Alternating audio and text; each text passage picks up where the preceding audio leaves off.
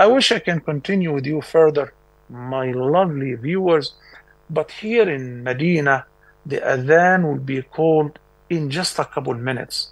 So by the time I run to the masjid, inshallah, I'll be able to attend the prayer there. To be continued, inshallah, some other time. Thank you so much. May Allah bless you, all your families, and I'm praying for you.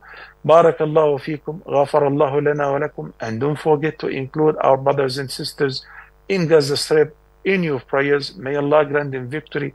May Allah support them against their enemies. May Allah make them triumphant. Allahumma ameen.